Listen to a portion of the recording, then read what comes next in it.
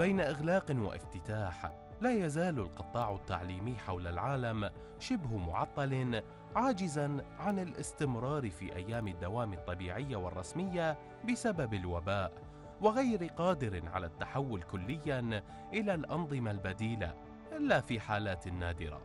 أما في العراق فكان للقطاع التعليمي حصة من الغرابة في اتخاذ القرارات وتنفيذها وكذلك التعاطي مع أزمتها وما أثارته من جدل المعدلات الذي ما يزال غير محسوم إلى اليوم.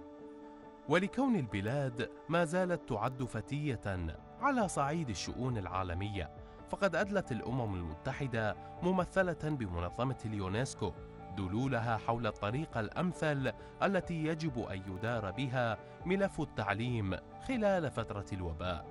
اليونسكو نشرت بحثا على موقعها الرسمي يحمل عنوان إطار عمل إعادة افتتاح آمن للمدارس في العراق.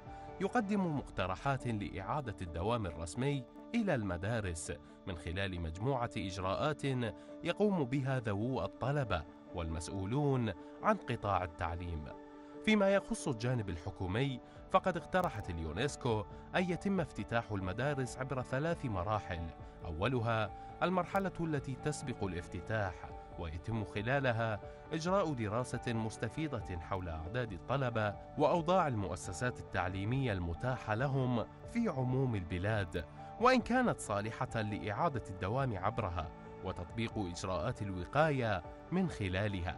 المرحلة الثانية تتضمن تهيئة المؤسسات التعليمية لإستقبال الطلبة وإعادة تقسيمها بشكل يضمن إيقاف أي انتشار محتمل للعدوى. وعلى مرحلة شهر إلى اثنين من ضمن إجراءاته تقليل عدد الطلبة في كل فصل ووضع مساحة كافية بينهم. أما المرحلة الأخيرة فتضمنت وضع إجراءات وقائية مكثفة لمنع الآثار السلبية التي وصفتها ببعيدة المدى مثل الانتشار الثانوي للعدوى وانتقالها إلى أهالي الطلبة.